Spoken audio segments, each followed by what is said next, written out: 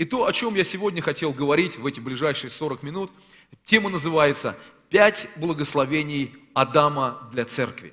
Итак, пять благословений Адама для церкви.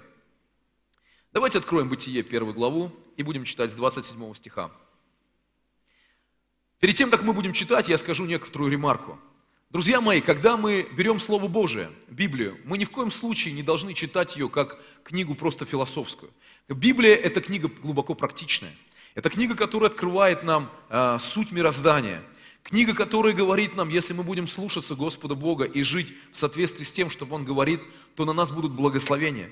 Если мы будем пренебрегать Библией, тогда в нашу жизнь придут проклятия. И это тема месяца, благословение и проклятие, о чем мы говорим. И поэтому для человека принципиально важно абстрагироваться от своих эмоций.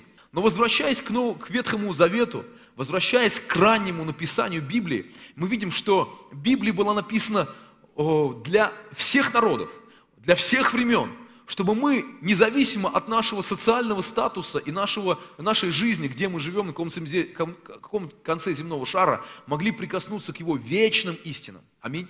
И вот эта вечная истина в книге «Бытие» говорит простую вещь.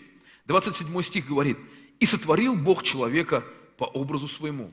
По образу Божьему сотворил его мужчину и женщину, сотворил их.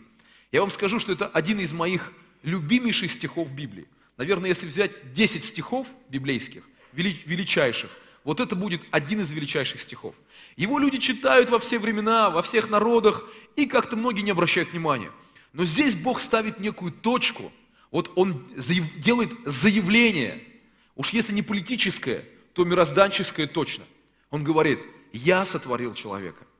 Вот так просто, но сильно. Он говорит, я взял и сотворил тебя. Я сотворил тебя по своей собственной воле. Это не был даже твой выбор, как ни странно. У тебя есть выбор потом выбирать между атеизмом и между верой.